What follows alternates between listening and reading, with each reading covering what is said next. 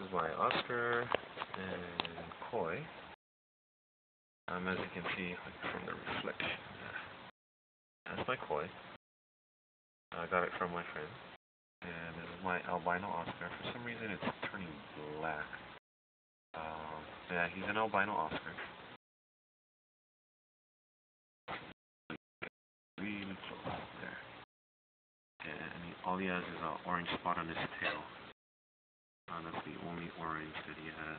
Other than that, he's not supposed to be turning black. That's an albino Oscar. With an orange see.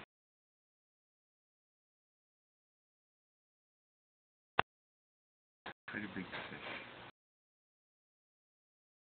So that's the koi. Other than that, I have these um these black um guppies. I bred them. This is my let's see third or fourth year in making this strain very strong. Uh, very solid black. This cross between the Walmart um, black that I usually get at Walmart here in Hawaii and then the Russian grass guppy. So if you notice uh, this male here, where's that one male? There's a male here that has a the dorsal fin being silver and all the rest of the body is black. I believe it's this one right here. Um, that's pretty much my breed. Other than that, um, yeah, the veil tail is pretty strong if you see it.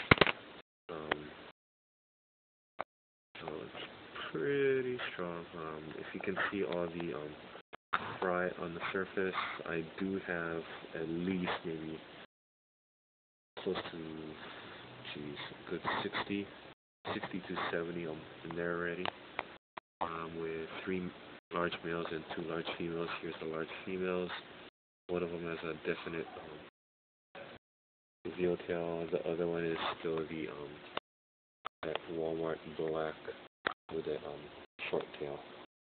So crossbreeding it constant and my end result should be like this one down below right here.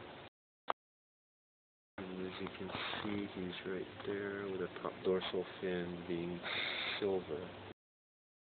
So, yep, that's the final result of three years, three to four years of work.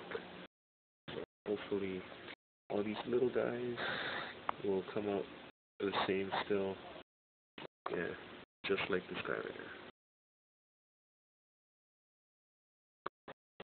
Okie doke. And for another video, see you later.